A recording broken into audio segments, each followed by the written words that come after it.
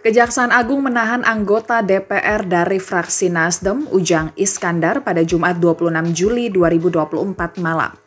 Ujang ditahan terkait kasus korupsi penyertaan modal dari pemerintah Kota Waringin Barat tahun 2009 saat ia masih menjabat sebagai Bupati Kota Waringin Barat.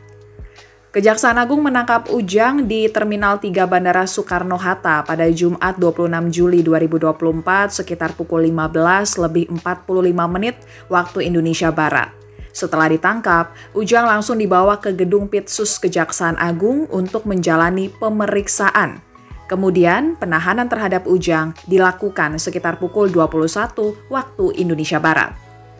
Ujang keluar dari gedung Pitsus Kejaksaan Agung menggunakan rompi tahanan kejaksaan berwarna pink dan tangannya ditutupi kain putih. Ujang juga menggunakan masker dan topi. Ia dikawal oleh petugas kejaksaan dan terus menunduk saat menuju ke mobil tahanan. Ujang baru buka suara menjawab pertanyaan awak media begitu ia masuk ke dalam mobil tahanan. Pertanyaan itu khususnya terkait kabar Ujang pergi ke Vietnam hingga akhirnya ditangkap setiba di tanah air usai melakukan operasi wajah. Namun Ujang membantah melakukan operasi wajah di Vietnam sebelum penangkapan. Sayangnya, Ujang enggan menggubris pertanyaan lanjutan dari wartawan mengenai kegiatannya di Vietnam sebelum akhirnya ditangkap. Perkara yang menyeret Ujang sebagai tersangka ini merupakan pengembangan dari perkara dua terpidana yang sudah inkrah atau berkekuatan hukum tetap. Pihak yang mengusut perkara tersebut ialah tim penyidik Kejaksaan Tinggi Kalimantan Tengah. Tim penyidik Hajati Kalimantan Tengah telah melakukan analisa terhadap putusan Mahkamah Agung atas perkara dua terpidana sebelumnya.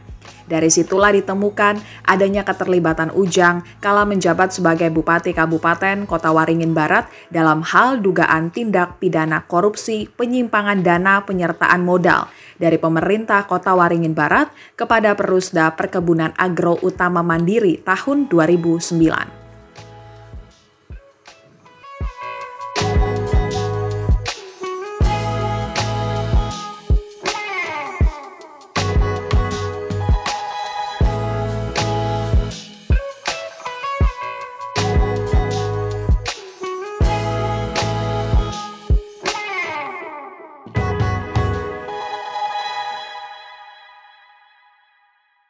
Terima kasih sudah nonton.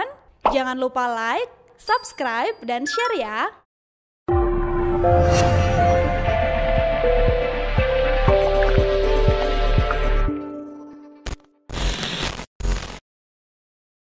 Download Tribun X sekarang.